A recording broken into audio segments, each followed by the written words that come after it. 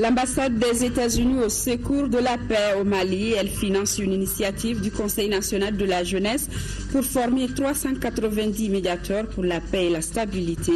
Le coup d'envoi de la formation a été donné aujourd'hui par le Premier ministre. L'équation Ebola fait bouger décidément le sommet de l'État après Ibeka hier. Aujourd'hui, Moussa Mara qui a testé le dispositif anti-Ebola et rendu visite aux personnes placées en quarantaine. Qu'en 2015, désormais en Guinée équatoriale, les aides du Mali ont baissé la tête aujourd'hui à, à, blantir contre le Malawi. Du coup, ils n'ont plus le sort entre leurs seules griffes pour le rendez-vous final.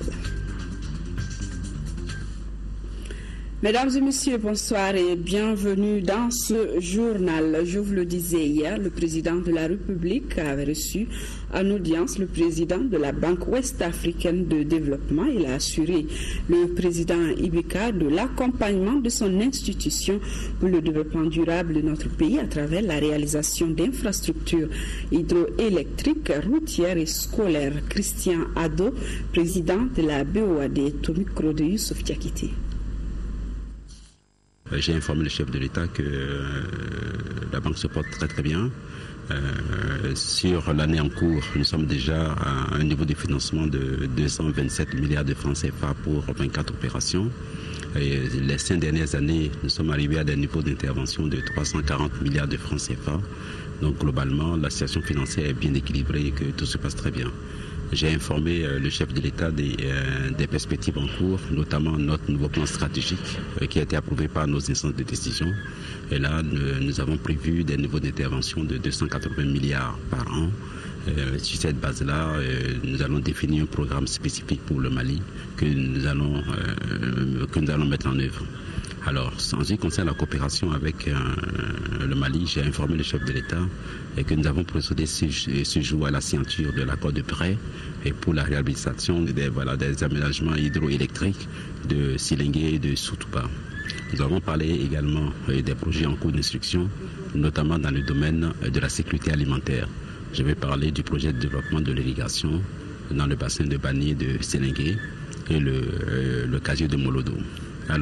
Le chef de l'État nous a donné des orientations sur euh, d'autres projets prioritaires pour le Mali, notamment en matière d'éducation, l'université euh, de Tombouctou euh, qui est en cours, donc sur lequel nous allons travailler. Le chef de l'État est revenu également sur d'autres priorités, notamment en matière d'énergie et surtout en matière de sécurité alimentaire. Notamment, il faut que nous travaillions ensemble pour le dragage du fleuve Niger et qui est vraiment la source euh, aussi bien d'approvisionnement en énergie que de la maîtrise de l'eau et pour euh, nos populations et pour notre économie. Je crois que sur toutes ces questions, sur tous ces projets, nous allons travailler ensemble avec euh, Madame le ministre des Finances et pour voir comment nous allons instruire ces projets afin de les mettre en œuvre. Et cet après-midi, le président a reçu en audience Annick Girardin, secrétaire d'État française au développement et à la francophonie. Les échanges entre les deux personnalités ont porté sur l'engagement de la France dans la lutte contre le virus Ebola au Mali. Moussa Fani.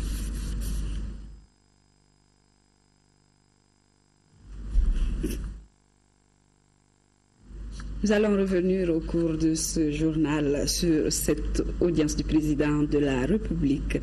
Nous passons donc au Premier ministre qui a présidé ce matin à Koulikoro la deuxième édition du camp du volontariat. Ils sont 150 jeunes venus de toutes les régions du Mali, excepté Kidal.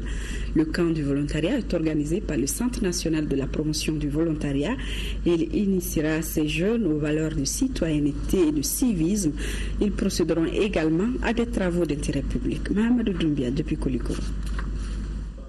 Au cours de cette cérémonie de prestation de serment, 150 jeunes volontaires s'engagent pour le renforcement de la citoyenneté, le civisme et la culture de la paix. Je m'engage solennellement à m'investir dans un esprit de volontariat pour la promotion des activités de développement, contribuer à résoudre les problèmes sociaux, économiques, culturels et environnementaux pour la construction d'une société plus juste et plus prospère. Me conduire partout où je serai affecté en digne et loyal serviteur de la République du Mali et à observer les réserves qu'exige ma mission. Initier les jeunes à la montée des couleurs, à entonner l'hymne national du Mali, faire des causeries sur l'éducation civique, organiser des journées de salubrité sont entre autres des activités qui sont au programme de cette deuxième édition du camp du volontariat. Le jeune volontaire, après sa mission sur le terrain, ne sera plus le même. Il revient aguerri, expérimenté, formé et plus que tout connaisseur de soi, des autres et de son pays. La vie dans ce camp des volontaires sera marquée par le respect des us et des coutumes de la ville haute, la tolérance sans distinction, conformément à la devise du volontariat. Cet engagement citoyen se résume dans le cadre de la devise du volontariat national. Je suis volontaire, je m'engage et mon devenir personnel n'est pas dissociable de l'avancée collective. Ceci voudrait dire que ces volontaires nationaux qui s'engagent, s'engagent pour le bien-être collectif et communautaire. Vous vous inscrivez dans cette dynamique de volontariat au triple plan de l'engagement solidaire, de conviction et d'attachement citoyen. Je vous exhorte à y croire et à persévérer, car il n'y a pas de mission plus noble que celle de servir sa communauté, son pays, avec courage, dévouement et abnégation. Le Premier ministre a tout simplement souhaité que de telles activités se pérennisent pour davantage créer l'esprit de civisme et de patriotisme. Faites en sorte que vous soyez dans un village, que vous soyez dans une grande ville, dans un homme, dans un champ, dans un atelier, dans un bureau, que ceux que vous servez, qui sont les Maliens, qu'ils puissent emprunter les voies du développement grâce à vos conseils, grâce à vos soutiens, grâce à votre accompagnement et grâce à votre disponibilité. Pour accéder au volontariat, en plus de la nationalité malienne, il faut jouir de ses droits civiques, être de bonne moralité, avoir une qualification académique ou une aptitude professionnelle. Et notre envoyé spécial à Koulikoro nous signale que le Premier ministre a rendu une visite de courtoisie aux notabilités de la ville de Koulikoro. Nous revenons donc à cette audience que le président de la République a accordée à Annick Girardin, la secrétaire d'État française au développement et à la francophonie. Voyons le compte rendu avec Moussa Fani. La France est aux côtés du Mali dans la lutte contre le virus Ebola. Cela a été confirmé cet après-midi par la secrétaire d'État française au développement et à la francophonie. C'était au cours de l'audience que le chef de l'État lui a accordé. Madame Annick Girardin a réitéré la solidarité des autorités françaises au Mali dans la lutte contre le virus Ebola. La France, euh, le président Hollande, le gouvernement euh, a souhaité euh, exprimer sa solidarité au Mali. Il était important que je puisse venir rapidement réexprimer effectivement cette solidarité et surtout euh, proposer euh, au euh, président malien la collaboration de la France dans la mise en place du plan de lutte contre Ebola, ce plan de lutte qui est en place, la nomination d'un coordinateur qui a été qui a été fait aujourd'hui en Mali, c'est comment la France peut venir soutenir cette action. Nous allons dépêcher un certain nombre d'experts ici sur place. Deux sont déjà arrivés, quatre arrivent ce soir, notamment pour la préparation euh, au contrôle aéroportuaire, euh, mais aussi euh, de pouvoir intervenir en surplus ou du moins en plus de ce qui se fait déjà dans, les, dans le centre de santé de traitement qui existe ici au Mali. D'abord, je voudrais dire combien nous avons été réjouis de la diligence avec laquelle la France a réagi par rapport à ce fléau. Il y a déjà deux jours, le président Hollande, en partance pour l'Australie, nous a fait l'amitié de nous appeler pour échanger avec nous sur nos besoins et annoncer que rapidement, donc, euh, cette mission serait dépêchée auprès de nous. Nous nous en félicitons. Nous en félicitons.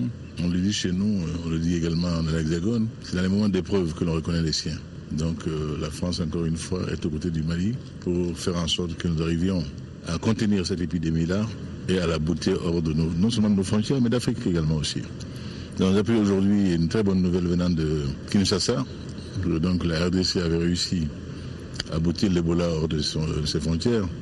Si un sous-continent comme le Congo a réussi, euh, nous pensons qu'à notre modeste niveau, et avec l'appui fabuleux qui nous est proposé là, euh, nous le pourrons également. La France, mais la communauté internationale, du président Obama également, nous avons reçu tout le soutien de l'Union européenne. Et donc, encore une fois, au sortir à peine de cette crise que nous avons connue au Mali, dans laquelle, hélas, nous sommes encore quelque peu, nous avons le bonheur de constater que à chaque étape et dans chaque cas de difficulté, nous avons l'appui fabuleux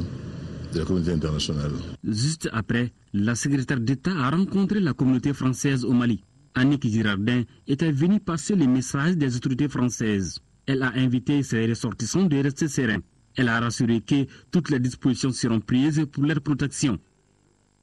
Je vous l'annonçais au sommaire de cette édition, lancement officiel de la formation de 390 jeunes médiateurs pour la paix. La formation soutenue par l'ambassade des États-Unis à hauteur de 33 millions de nos francs est une initiative du Conseil national de la jeunesse. C'est un projet de quatre mois qui va accompagner le gouvernement dans son combat pour la paix et la stabilité. Abdraham Mega. Inspiré de l'expérience nigérienne, ce projet d'un coût total de 33 millions de francs CFA permettra de former en 4 mois 390 jeunes des 8 régions du Mali.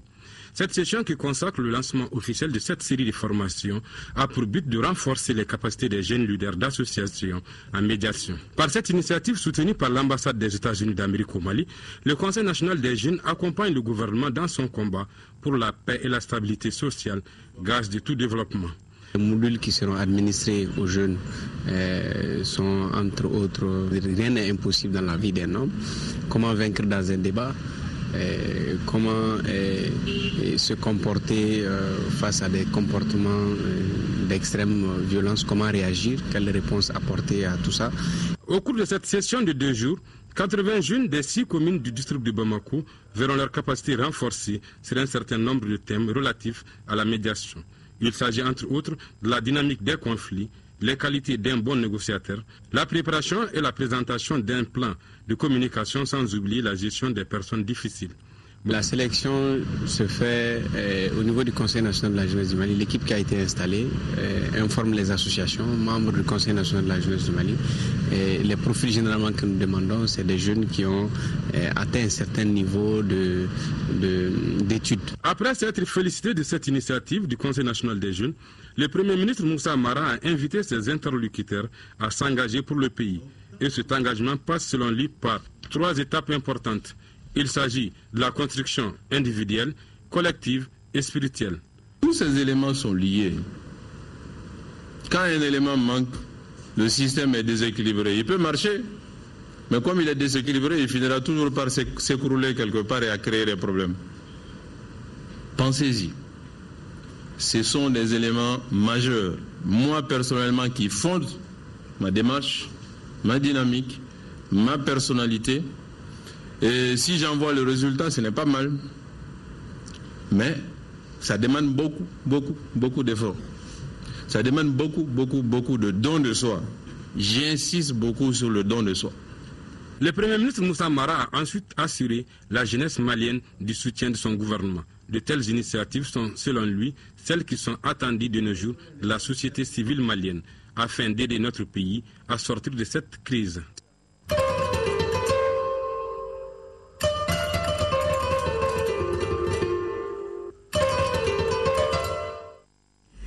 Sensibilisation à outrance contre le virus Ebola, le gouvernement ne baisse pas les bras. Moussamara a visité cet après-midi l'aéroport, la famille de l'infirmier décédé, ainsi que la polyclinique Pasteur. Laura Sidiki était de la visite. Aéroport international nous ce samedi, lavage des mains au savon, purification au gel, prise de température thermique.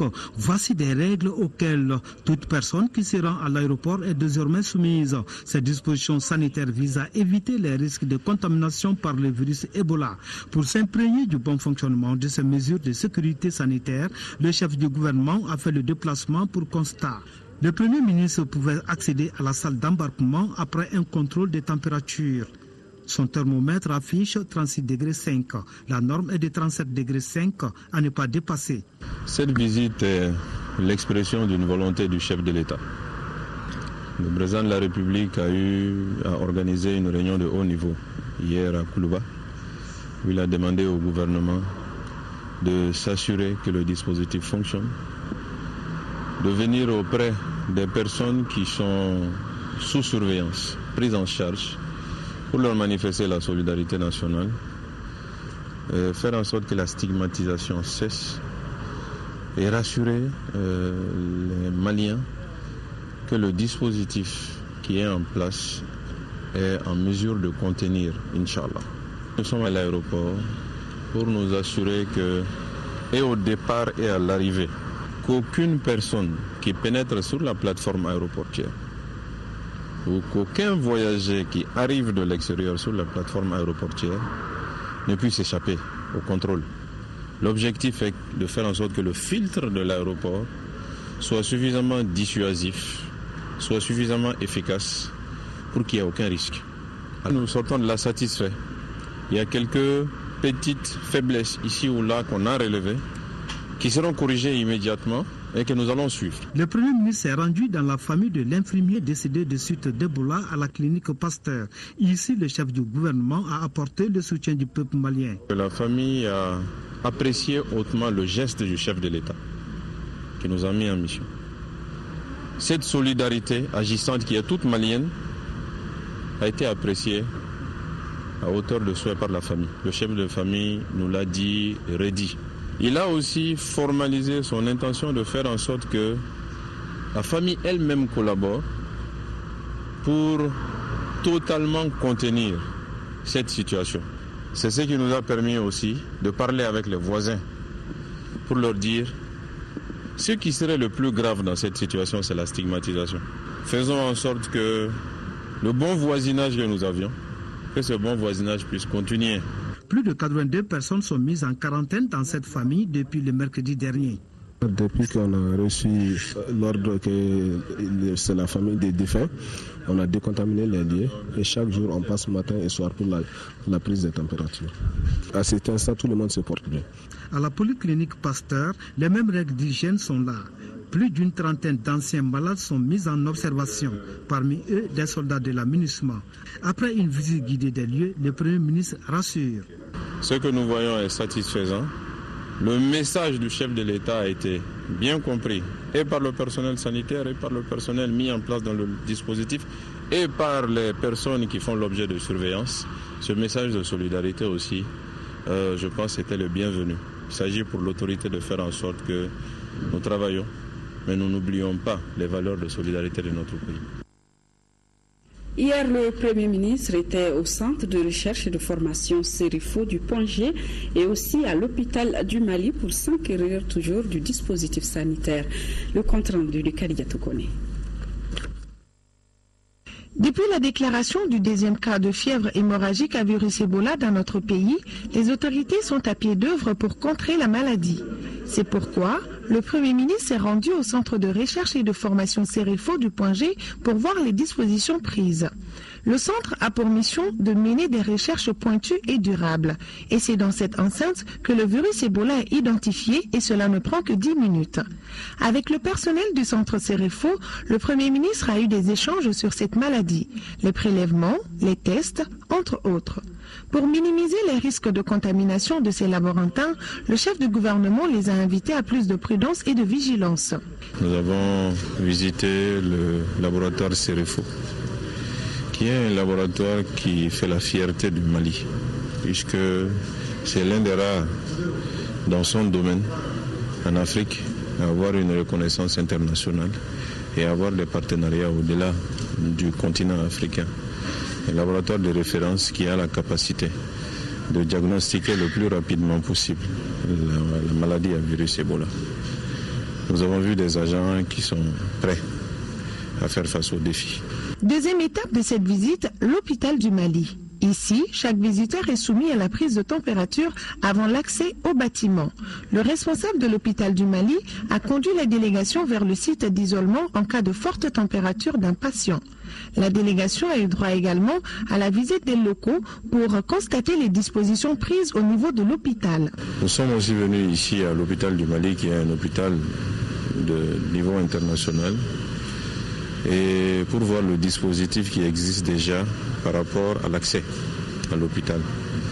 Cet accès qui est désormais réglementé par le ministère de la Santé. que toutes les formations sanitaires de notre pays, que ce soit du privé ou du public, doivent avoir un système de filtrage à l'accès pour que la prise de température permette déjà de voir si ce cas peut être considéré comme un cas à risque au cas où la température euh, serait anormalement élevée. On est satisfait de ce qu'on a vu. On a tiré les leçons de ce qu'il faut faire ailleurs pour euh, faire en sorte que cette digue face à la maladie puisse fonctionner et que d'autres digues aussi puissent être mises en œuvre afin qu'on soit efficace, qu'on arrive à contenir le mal pour pouvoir l'éradiquer dans les meilleures conditions. Aujourd'hui, certains Maliens commencent à céder à la panique en demandant même la fermeture des classes. Les spécialistes que nous écoutons, puisque les spécialistes par définition sont expérimentés, connaissent dans d'autres contextes ce qui a pu se passer, nous déconseillent en l'état actuel des choses d'envisager des solutions extrêmes ou des solutions du genre fermeture des écoles. Faisons en sorte de les suivre, de mettre les moyens qu'il faut à leur disposition, de donner toute l'information à la population et je pense que nous y arriverons. La fièvre hémorragique à virus Ebola est une maladie très contagieuse et mortelle. Adopter les mesures d'hygiène exigées par les responsables sanitaires constitue le meilleur moyen de prévention contre le virus Ebola. Et en quatrième région, la campagne contre la maladie bat son plein avec l'implication des chefs religieux, nous signale Dougoufana Traoré. Pour réussir le combat contre la fièvre à virus Ebola dans la région de Ségou, aucun canal de communication n'a été oublié. La presse audiovisuelle et écrite, les communicateurs traditionnels, les religieux, les enseignants, en plus des agents de santé, tous sont appelés à véhiculer les messages d'information et de sensibilisation pour freiner la propagation de l'épidémie de la fièvre à virus Ebola. Dans la grande mosquée du quartier Bougoufier de Ségou, les fidèles musulmans ont suivi cet après-midi avec attention plusieurs informations sur la fièvre à virus Ebola. Ce que j'ai recommandé aux fidèles musulmans cet après-midi, lors de mon entretien, euh, c'est surtout d'être serein, de ne pas céder à la panique ni à la psychose d'être serein et d'observer les règles élémentaires d'hygiène. La religion musulmane est celle de la tolérance. Elle s'adapte aux situations du moment.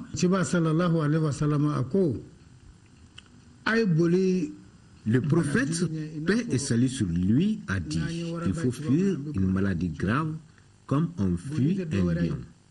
Cette fuite n'est autre que le respect des préventions et des mesures édictées. Le prophète de l'islam dit en cas d'épidémie, si vous êtes dans la zone contaminée, ne sortez pas de la zone. Si vous n'êtes pas arrivé, n'y accédez pas. Ça montre à quel point l'islam est d'abord une religion qui prévient. Au niveau des écoles, autre lieu de grand rassemblement, toutes les mesures sont prises pour éradiquer la fièvre à virus Ebola. La situation géographique de Ségou fait de la région un carrefour. C'est pourquoi toutes les mesures pouvant freiner la propagation de la fièvre à virus Ebola sont les bienvenues. Tout le monde, sans exception, toutes les forces vives et les canaux de communication doivent nous aider, nous appuyer, nous accompagner pour mettre fin stopper, disons, cette maladie qui est en train de paniquer autant que possible la population.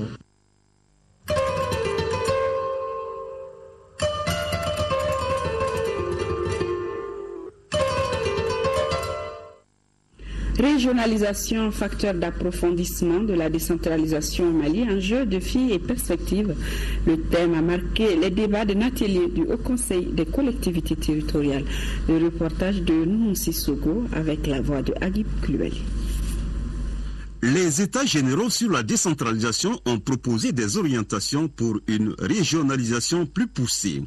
Aussi, un accent a été mis sur le transfert effectif des compétences et des ressources aux collectivités territoriales.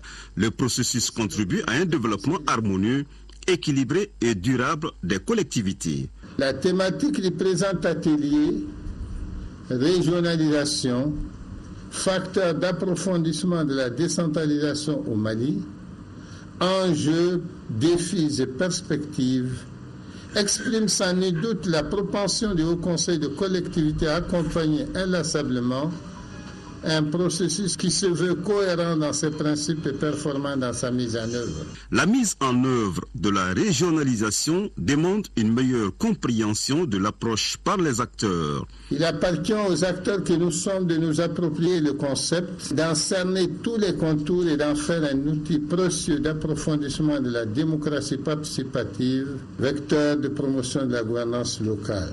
Cet atelier de deux jours regroupe une centaine de participants composés des conseillers nationaux, régionaux, de représentants d'institutions de la République, de départements ministériels, de gouverneurs de régions, de la société civile, entre autres. Réflexion sur des contributions aux négociations d'Alger. Ces assises ont sont initiées par la plateforme des jeunes du Mali en Tesson. À l'issue de deux jours de travaux, un document final sera élaboré. Nous retrouvons Guy Koulibaly. Les représentants de la plateforme des jeunes du Mali en Tesson se sont réunis autour d'un document qui va sceller l'avenir de notre pays. Il s'agit du document de la médiation intitulé les éléments pour un accord pour la paix et la réconciliation au Mali. Nous avons dit, c'est vrai, nous avons dit non en Tisson. On n'est pas d'accord pour certaines choses, on conteste. Mais plus même nous avons dit que la jeunesse malienne est capable de réfléchir. La jeunesse malienne est capable d'analyser. La jeunesse malienne est capable de proposer. Et c'est ce que nous réunissons aujourd'hui. S'adressant plus particulièrement à vous, futurs responsables, je voudrais vous dire aussi que l'espoir et les attentes sont immenses. Nous devons nous impliquer davantage et de façon résolue dans la vie de notre nation. Nous devons nous mobiliser pour atteindre nos objectifs dans le respect strict des lois de notre pays.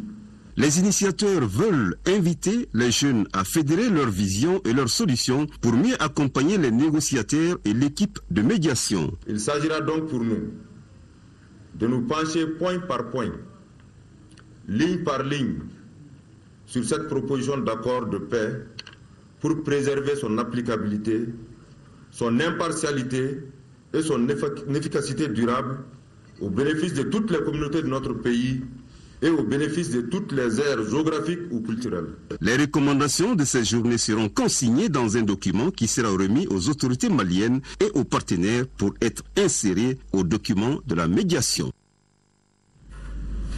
Et à Mopti, l'exercice de restitution du document de la médiation sur la paix et la réconciliation dans notre pays était commandé par le ministre de la Réconciliation nationale, Zahabi Ould Sidi Mohamed, accompagné de quelques experts du gouvernement.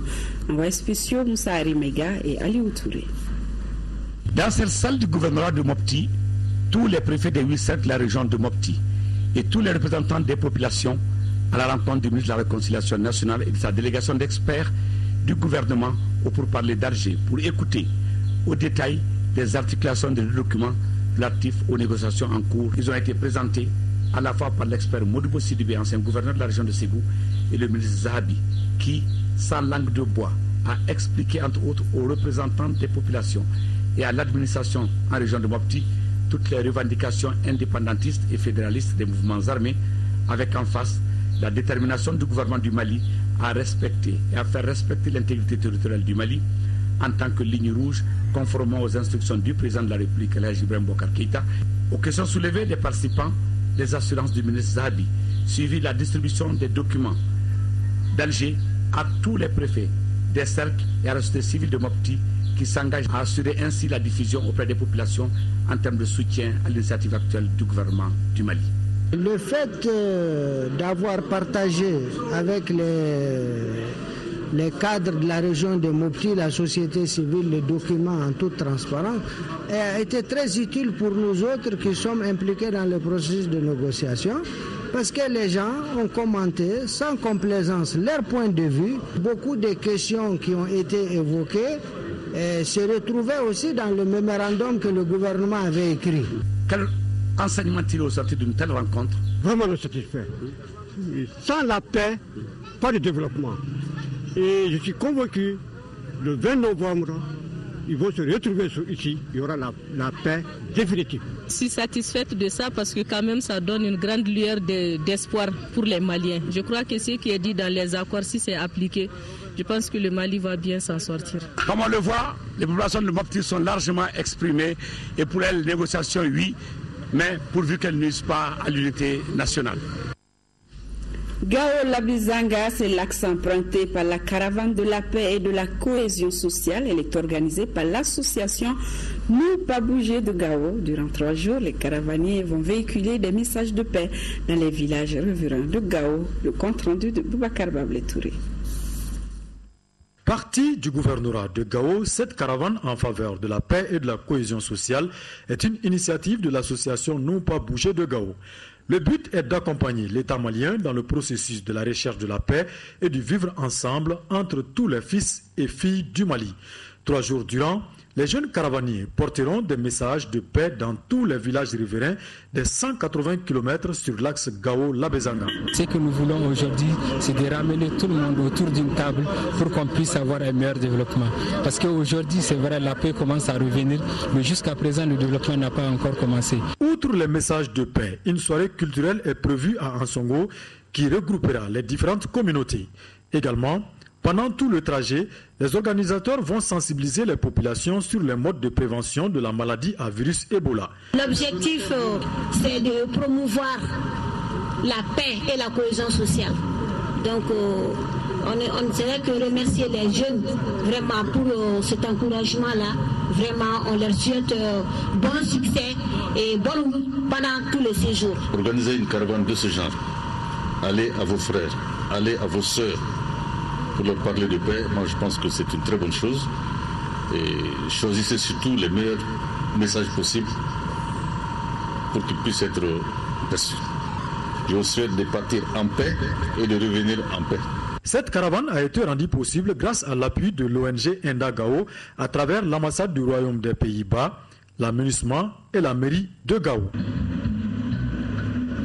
Et nous restons dans la région de Gao pour aller à Bourem afin d'apaiser la tension dans le cercle après l'assassinat de deux hommes du village d'Abakoira dans la commune de Bamba. Les députés élus de Bourem ont rencontré les leaders d'opinion, les femmes et les jeunes des cinq communes du cercle. L'honorable Aïsata Haïdara Aïsata Sissé en a profité pour faire le compte-rendu de certaines décisions prises à l'Assemblée nationale. Elle a aussi offert aux populations des vivres et des non-vivres d'une valeur de près de 20 28 millions de francs CFA. La tension était montée entre les communautés de Bourem suite à l'assassinat il y a 10 jours de deux ressortissants du village d'Abakoira de retour du marché de Bamba. Ces forains ont été abattus par des hommes armés introuvables jusqu'à ce jour. Cet acte odieux avait ravivé la tension entre les communautés. C'est pour apaiser cette situation que les élus de Bourem, notamment l'honorable Aïdara Aïsata Sissé, accompagné d'une forte délégation, se sont rendus à Bourem. Ma responsabilité m'indiquait de venir dans un premier temps pour calmer le jeu, dans un deuxième temps en profiter pour faire la restitution, parce que j'ai l'habitude de restituer les lois. Après avoir fait part des lois votées à l'Assemblée nationale dans le sens de la paix et de la sécurité, les populations étaient satisfaites pour la simple raison que ce sont là leurs préoccupations. Au cours des débats, Aïdara Aïsata Sissé a expliqué les contours des pourparlers d'Alger sur lesquels la position de Bourem est claire. La question du fédéralisme, c'est ce que les gens n'aimaient pas du tout entendre. Et ce n'est pas revenu dans le dossier le préliminaire des accords. Donc c'est déjà un début de satisfaction pour les populations. Durant son séjour, l'honorable a offert aux populations de Bourem 5 tonnes de mille, 3 tonnes et demi de riz, 2 tonnes de sucre, plusieurs kits scolaires, 50 kits solaires pour les mosquées et les CESCOM, ainsi que des chaises et des produits pour le lavage des mains. Cette donation est estimée à près de 28 millions de francs CFA. J'ai instauré effectivement le mois de la solidarité à Bourem il y a de cela 6 ans. Donc j'en ai profité pour amener effectivement un important lot euh, pour aider à soulager les populations aux côtés de l'État malien qui s'investit beaucoup dans ce domaine. Cette délégation conduite par la députée Aïdara Aïsata Sissé a présenté aux familles endeuillées d'Abakoira les condoléances des plus hautes autorités du Mali en leur remettant une enveloppe au nom du Premier ministre. De retour à Gao, Aïdara Aïsata Sissé a rencontré les femmes leaders en vue de consolider leur participation à la paix et à la réconciliation au Mali. Une plainte avec constitution de partie civile pour crimes contre l'humanité et crimes de guerre au nom de 80 femmes victimes de viols et d'autres formes de violence sexuelle a été déposée par six organisations auprès du juge d'instruction du tribunal de première instance de la commune 3. Ces crimes ont été perpétrés par des groupes armés en 2012 et 2013 au nord de notre pays. Rachel Tessougé. 80 femmes victimes de viols et de violences sexuelles portent plainte devant la justice malienne. Ces crimes ont été commis durant l'occupation du nord du Mali par des groupes armés.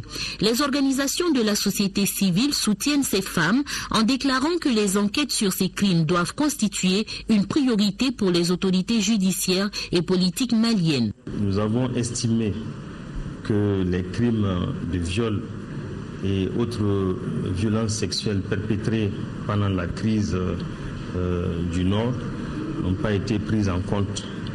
Il faut que justice soit rendue à ces victimes-là. Nous voulons profiter euh, des négociations en cours euh, pour faire en sorte que les exigences de réconciliation et de paix soient conciliées avec le besoin de justice des victimes. Que la justice malienne ouvre formellement une enquête nomme un juge d'instruction, enquête et juge les auteurs et les responsables de ces crimes. Selon la présidente de l'ONG Wildaf, ces violences sexuelles ont causé d'énormes difficultés dans la vie de ces femmes. C'est des troubles psychologiques, des blessures euh, physiques et aussi euh, des troubles émotionnels de tout genre que ces femmes après ces violences subies, il y a un rejet. Il y a certains qui ont perdu leur mari, leur ménage, qui ont été divorcés. Les représentants de l'Association malienne des droits de l'homme affirment que malgré cette lutte contre l'impunité, de nombreuses victimes n'osent pas porter plainte car elles ont peur de se retrouver en face de leur bourreau. Elles ont également peur d'être rejetées par leurs proches car le viol reste un sujet tabou au sein de notre société. La communauté belge de notre pays a célébré son roi depuis 148 ans. Le 15 novembre est consacré jour de la Saint-Léopold pour commémorer l'événement. Les citoyens belges du Mali se sont retrouvés pour une réception. La fête du roi des Belges est célébrée depuis 148 ans. Le 15 novembre 1866 commémore le jour de la Saint-Léopold, nom des deux premiers et quatrième rois. Cinq membres du gouvernement malien sont conviés à la réception offerte par les 220 membres de la communauté. Le Fonds belge à la sécurité alimentaire a choisi le Mali et plus particulièrement les cercles de Nara et de Nioro du Sahel comme première zone d'intervention. Dans un contexte difficile, la FAO, le FNU et cinq ONG belges continuent avec le commissariat à la sécurité alimentaire l'exécution de ce programme de presque de 15 millions d'euros. La Belgique a connu plusieurs périodes de conflit. La réforme constitutionnelle de février 1993 a transformé le pays en État fédéral. L'économie et le développement du pays sont à la recherche d'un nouvel élan. L'insécurité dans certaines parties du pays contribue certainement à une fragilité du Mali. Nous espérons tous que les négociateurs à Alger pourront trouver une solution durable et équitable à ce défi malien qui n'est pas uniquement limité au nord du pays. Le premier roi des Belges a été élu en 1831. L'actuel souverain est Philippe Léopold Louis-Marie de Belgique. Le fils de Albert II occupe le trône depuis le 21 juillet 2013. Journée mondiale du diabète, une alimentation saine, c'est le thème de cette édition qui invite les malades à adopter un régime équilibré. Ali Matina, compte rendu. Célébrée chaque 14 novembre, la Journée mondiale du diabète est la plus grande importante campagne mondiale de sensibilisation et d'éducation du diabète. Cette journée a pour but d'éveiller la conscience du grand public aux causes, symptômes, complications liées à la maladie et rappeler que l'incidence et la prévalence de la pathologie ne cessent d'augmenter dans le monde en général le Mali en particulier. En 1985, le taux de prévalence du diabète au Mali était de 0,92%. Enquête réalisée en zone rurale par le projet KBK. Aujourd'hui, d'après les dernières enquêtes réalisées en 2009 sur toute l'étendue de la République du Mali, Ces enquêtes relèvent un taux de prévalence de 9,3%. En un quart de siècle, ce taux a été multiplié par 10. Cela est inquiétant et nous interpelle tous.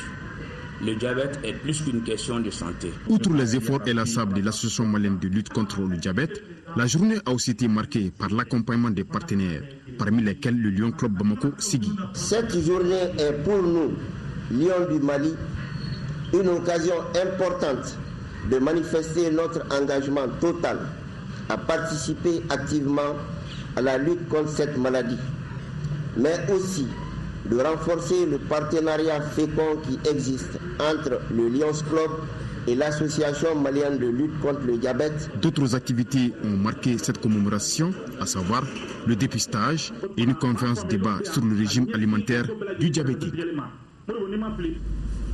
En voyage d'études dans notre pays, délégation de la Sofitex Burkina Faso a été reçue par les responsables du secteur coton et développement rural de notre pays. Les échanges ont porté sur la nécessité de s'unir pour faire face à la commercialisation du coton. Mamari la cinquième journée du voyage d'études de la Société des fibres et textiles du Burkina Faso a été réservée aux rencontres avec le département du développement rural et les structures chargées de la culture du coton. À la CMDT, la mission a rencontré la direction générale qui accorde une importance particulière à la commercialisation primaire. Nous sommes euh, très très enchantés euh, d'avoir que ce que nous avons fait nous au niveau de la CMDT comme euh, travail de fond pour faire en sorte que la commercialisation primaire puisse permettre de soutenir les autres activités en aval. Je vais parler entre autres du transport du coton-graine, je vais parler de l'égrenage euh, du coton-graine, je vais parler aussi de l'évacuation de la fibre. Ce travail de fond qui a été fait au niveau de la commercialisation primaire a pu faire son effet jusqu'à faire l'écho au niveau de certains pays qui sont également dans la même dynamique de culture cotonnière comme nous à la mission de restructuration du secteur coton, la délégation a été informée du mandat de cette mission. Une mission qui s'apprête à effectuer une série de visites dans les pays de la sous-région. En recevant la délégation de la Sofitex, le secrétaire général du ministère du Développement rural dira que le Burkina Faso et le Mali ont les mêmes contraintes dans la culture du coton et partagent les mêmes objectifs. Daniel Siméon Kelema d'inviter les responsables de la CMDT et de la Sofitex à approfondir les échanges autour de la transformation du coton sur place. Les entretiens entre le président de l'Union nationale des sociétés coopératives des producteurs de coton et la délégation du FASO ont porté sur l'impérieuse nécessité de se donner la main pour faire face aux défis du moment. Cette visite-là, en tant que représentant des producteurs de coton, c'est très très important pour moi parce qu'il euh, n'y a pas un bon encadreur sans un bon producteur et il n'y aura pas un bon producteur sans un bon encadreur. Donc si l'encadrement burkinabé vient pour une visite pour la commercialisation du coton grain. Je pense que c'est important et ils ont venu là où ils doivent venir. A noter que cette délégation de la Sofitex comprend 37 membres. Il a été lancé à Koutiala un projet d'appui aux coopératives et entreprises de services agricoles. C'est pour l'accès au marché des petits producteurs et des femmes rurales. Coût global du projet 482 millions. ORTM Sikasso, Fatoumata Diallo. Renforcer la capacité des coopératives et entreprises agricoles en fourniture d'intrants et en services post-récolte et commercialisation, telle est l'ambition du projet DEMAS lancé à Kouchala. Entendez par DEMAS le projet d'appui aux coopératives et entreprises des services agricoles pour l'accès au marché des petits producteurs et des femmes rurales. Ce programme, d'un coût global de 482 millions de nos francs, est une initiative de l'Association malienne d'éveil au développement durable AMED, de l'AGRA, l'Alliance pour une révolution verte en Afrique, et de l'AMASA, l'Association malienne pour la sécurité et la souveraineté alimentaire. Il couvrira pendant la période 2014-2017 les cercles de Kuchala, Sikasso et de Yorosso. Nous allons accompagner des entreprises spécifiques comme Zamon, qui a de nombreux tracteurs, qui a également des équipements post-récolte et d'autres euh, équipements divers de transformation puissent offrir des services de labour à ces femmes rurales qui puissent mettre en culture le plus rapidement que possible leur exploitation agricole. Les présentations et témoignages à l'aide de diapositives ont permis à l'assistance de mieux cerner le projet, un projet susceptible de booster la productivité pour l'amélioration des revenus des producteurs. Ce projet communément appelé DEMAS a donc l'ambition de créer un impact réel en vue d'atteindre les résultats suivants en milieu rural. Former au moins 11 000 petits producteurs aux techniques de gestion post-récolte, appuyer au moins 60 agrégateurs pour la fourniture de services appropriés, appuyer au moins 10 entreprises pour la fourniture de services en agrobusiness, le directeur de cabinet du gouverneur de la région de Sikasso, Sidi Konate, a réitéré le soutien sans faille des autorités régionales à ce projet. Dans la région de Koulikoro, le groupe Action pour l'enfance au Sahel a depuis quelques jours un projet de lutte contre la migration irrégulière, la traite des femmes et des jeunes dans les communes de Ntiba et d'Aban. La première phase de ce projet concerne la création de cinq périmètres maraîchers pour 500 femmes et jeunes alphabétisés. Brahima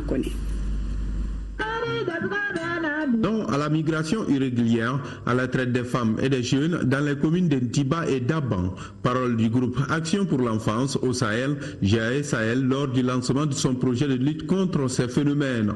Cette ONG vise en amont à faire apprendre aux jeunes et aux femmes de cinq coopératives villageoises les bonnes techniques de maraîchage. En aval, l'aide pour le développement des activités maraîchères devra s'étendre sur tous les autres villages des communes cibles du projet. Au regard des, changements climatiques, euh, les moyens d'existence des populations, surtout que, principalement l'agriculture, souffrent beaucoup. Donc les populations, les productions sont insuffisantes pour avoir des compléments les jeunes, les femmes, en un mot, les actifs sont obligés de quitter la zone pour chercher euh, des revenus complémentaires. On va plus loin sur les sites d'orpaillage où les, euh, les, femmes, les jeunes sont durement exploités. GAE Sahel se propose de mieux valoriser les potentialités des cueillettes et agricoles non exploitées. Il prévoit aussi d'informer et de former les jeunes sur le petit commerce, les méfaits de l'exode rural, l'émigration irrégulière, le VIH-Sida, le paludisme, l'hygiène et l'assainissement. Pour le représentant de l'OHVN, les populations et les élus communaux, ce projet est un pan de la contribution de GASAL au développement rural. Nous, les responsables des mairies de Nchiba et d'Aban, assurons GASAL de notre engagement pour l'atteinte des objectifs du projet. Le projet de lutte contre la migration irrégulière, la traite des femmes et des jeunes est financé par la CDAO Espagne, GAE Sahel et la communauté. Nous sommes donc le week-end et des sorties sont permis ce samedi soir pour le public bamakois qui en a envie. Faites un tour au palais de la culture Amadou en Patéba ce soir. C'est l'élection Miss ORTM Bamako et c'est Dauphine qui aura lieu tout à l'heure au Palais de la Culture. Et les représentantes de Ségou et Tombouctou à l'élection Miss RTM 2014 sont déjà connues depuis, sont connues déjà depuis hier soir. Cette année, la région de Ségou a aussi accueilli les postulantes de Tombouctou. Et tenez-vous bien, la Miss de Ségou s'appelle Mbarka Walet Abdoulaye et celle de Tombouctou est une Dogon du nom de Fatoumata Dolo. Kandesila. Elles sont 17 gazelles, 17 postulantes pour l'édition 2014 de Miss Hortem Ségou et de Tombouctou. Le cadre, la salle Merouba de Ségou de Grand Jour. Cet événement culturel annuel a enregistré la présence des autorités administratives et politiques de la région, deux membres du gouvernement, le président de la PECAM, plusieurs personnalités et le public ségovien. Les secrétaires généraux des cellules syndicales de Ségou et de Tombouctou, du comité syndical de l'Ortem Bamako, ainsi que les responsables de deux structures, tous ont dans leur adresse situé l'événement dans son contexte qui, au-delà de l'aspect festif, est surtout culturel. L'élection Miss est une activité pédagogique dont le but essentiel est tout d'abord d'amener la femme malienne à prendre conscience de sa beauté originelle dont l'élément principal est le teint naturel.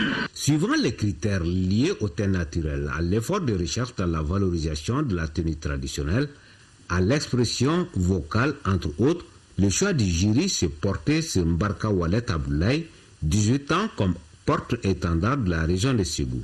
Et Fatmata Yakoy a été sacrée Miss Tombouctou 2014. Elles ont pour dauphine Koutoum Sidati et Salka Arbi. Le prix de la réconciliation a été attribué à Zenabou Sissé.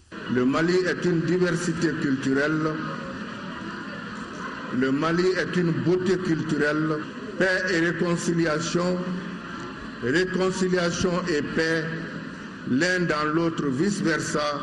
L'essentiel, c'est que le Mali puisse être un et indivisible. Le tout a été soutenu par des artistes de renom comme Aira Abi, Asunyame Djabate et Ablaï Djara. Notons que cette année, le thème est retenu par leur thème et paix et réconciliation. Et la Miss Sikasso, édition 2014, s'appelle Marietou Keita. Elle a 18 ans et a été élue devant 8 autres jeunes filles à l'issue de la soirée New RTM. Daouda Diakite et Amadou Dolo compte rendu. C'est dans une véritable communion que le public de Sikasso s'était donné rendez-vous dans la salle de spectacle La Missa Bengali pour partager la fête de la nuit ORTM édition 2014, marquée par l'élection de la plus belle demoiselle de la région. Une soirée placée cette année sous le thème de la paix et de la réconciliation nationale. C'est là pour prouver que le Mali est un et indivisible. La paix, facteur de développement, ne doit pas rester un vain mot, mais un comportement.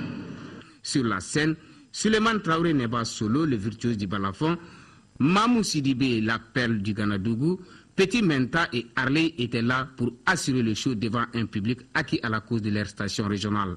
Au bout de la soirée, au terme des trois passages des candidates, le jury de cinq membres présidé par Traoré Aminata Kouate a porté son choix sur Marietou Keita, 18 ans, élève au lycée El Madani Diallo de Kouchala en terminale lettres. Et les autorités apprécient. Les jeunes filles vous font passer des messages forts qui nous interpellent tous, c'est-à-dire l'unité, la paix et euh, le fleuve qui nous guette aujourd'hui, qui est le fleuve Ebola. Encore une fois de plus, merci à leur citation. Très sincèrement, ça a été une belle soirée. Nous avons été très réjouis et très réconfortés par la prestation des demoiselles surtout par les messages qu'elles ont délivrés au public. Nous souhaitons bonne chance à notre candidate à Bamako. La Miss remporte ainsi une moto Jakarta, une tablette, une autre moto pour la première dauphine, un ordinateur portable pour la deuxième dauphine, des téléphones WhatsApp Internet offerts par le sponsor officiel Soutelma Malitel. Et sport, football, la tâche qui se complique pour les aigles du Mali. Ils ont perdu 2-0 face au Malawi dans le cadre de la cinquième journée des éliminatoires de la Cannes 2015. Après cinq journées et malgré cette défaite, le Mali reste toujours deuxième du groupe B, nous rappelle Ousmane Daou. En foulant la pelouse synthétique de Blantyre, les Aigles du Mali ont besoin d'un nul ou d'une victoire pour valider leur ticket pour la Cannes 2015. Eh bien, le scénario de cette rencontre a été autrement pour les nôtres. La faute à une équipe malawite, volontaire, appliquée, combative, qui domine toute la première période en se créant les meilleures occasions sans ouvrir le score. La mi-temps est sifflée à 0-0.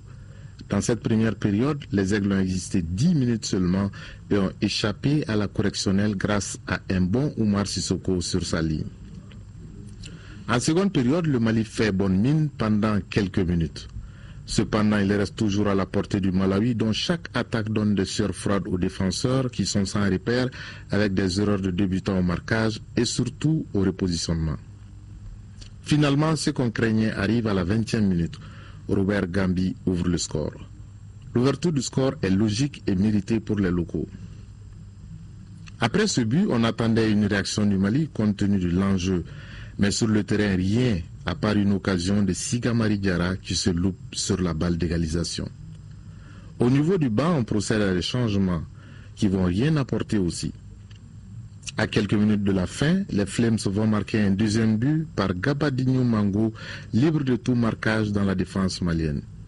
Il fustige Oumar Sissoko des coups de tête rageurs. À 2-0, le Malawi gère la suite et s'impose logiquement face à une équipe fantomatique du Mali.